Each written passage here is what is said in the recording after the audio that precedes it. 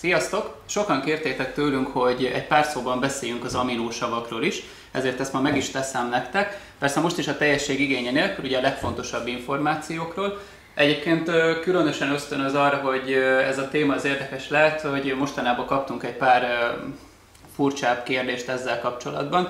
Például volt egyébként egy ilyen, hogy olyan fehérjét szeretnék venni, amiben nincsenek aminósavak, és lehetőleg ne anabolikusat. Na ezért beszéljünk is róla egy kicsit. Mit is kell tudni ezekről a misztikus aminósavakról, miért is olyan nagyon fontos ezeknek a használat, illetve a pótlása? Tulajdonképpen ezek a fehérjék építőkövei, ebből épülnek fel az izmaink, az inaink, a bőr, de még a ha is. Egy érdekesség ezzel kapcsolatban, hogy a vízen kívül a fehérje adja a testtömegünk legnagyobb részét.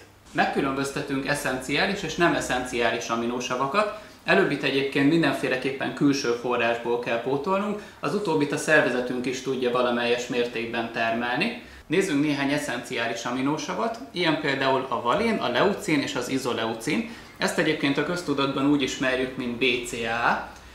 Ezeket egyébként főleg edzés közben érdemes alkalmazni, mert ilyenkor rengeteg mikrosérülés keletkezik az izomzatban, Persze a nap bármely szakában érdekes, amikor nem tudsz elegendő akár szilárd táplálékból származó fehérjét bevinni, akár fehérje turmixot, nem tudja egyébként pótolni a megfelelő fehérjebevitelt, viszont mindenféleképpen jó társ lehet edzés közben, vagy akár utána. További hasznos eszenciális aminósavak, ilyen például a lizin. Ennek is számos hasznos tulajdonsága van, de talán a legjellemzőbb rá, hogy segít megelőzni a herpes kialakulását, illetve az argini munkáját nagyon jól tudja segíteni. Vagy a másik, az én egyik nagy kedvencem, ő például a triptofán, rengeteg pozitív tulajdonságáról tudnék mesélni, de talán a legkiemelkedőbb az az, hogy nagyon jó nyugtatószer, természetes megoldás lehet a szorongásra, mély alvás segíti, tehát hogyha mondjuk gondok vannak az alvással, akkor ő egy nagyon jó barátod lehet.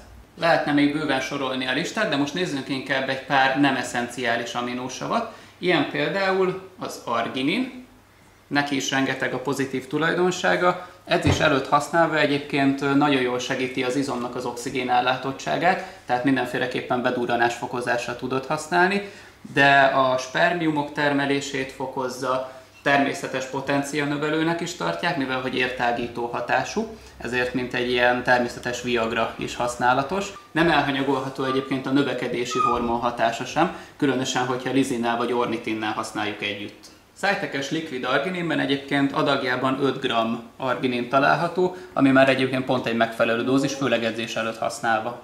Következő nagyon fontos nem eszenciális aminósav a glutamin. Ő egyébként az izmokban a legnagyobb mennyiségben előforduló aminósav, javítja az agyi funkciókat és erősen anabolikus hatása van. Róla egyébként meg azt kell tudni, hogy edzés előtt és edzés után érdemes használni. Nyilván máskor is lehet, de ez a két legfontosabb időszak. Egy 5-5 grammos adag az bőven elég belőle.